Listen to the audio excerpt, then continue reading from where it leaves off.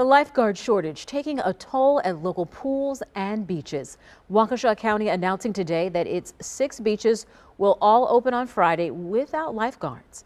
There will be a swim at your own risk advisory at those beaches all summer long. It's a last ditch effort to train and hire lifeguards in Milwaukee County. Bruce Harrison went to tonight's lesson to talk about the shortage with lifeguards in training. It's new at 10. These swimmers will be among the final cut for this summer's Milwaukee County lifeguards. I heard it was a lifeguard shortage actually on the news, so I thought, hey, why not go out and help as like a summer job? A summer job that's paying more than ever before. What did you think about the pay, $16 an hour? I think that's pretty good, like for a lifeguard, and then they're giving you the training, so I believe it's pretty good. The pay bump to $16.14 comes amid a hiring slump. The county has secured just 60 of 200 needed lifeguards.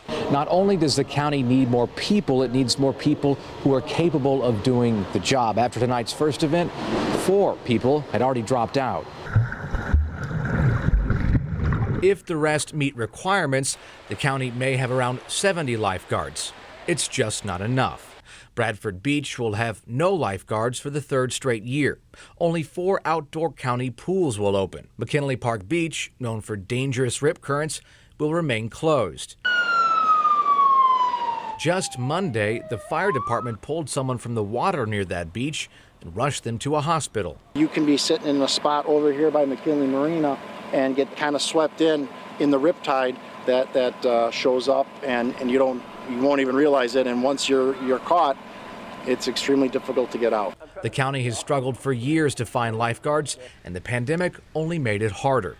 If you do manage to dive into a county pool this summer, it may be because one of these swimmers stepped up. Do you have any concerns about actually being in the field this summer when it comes to actually helping real people? I think it, will definitely be challenging, but I'm up for it. My brother was a lifeguard before, and he said he had to save one person one time. Reporting in Milwaukee, Bruce Harrison, TMJ4 News.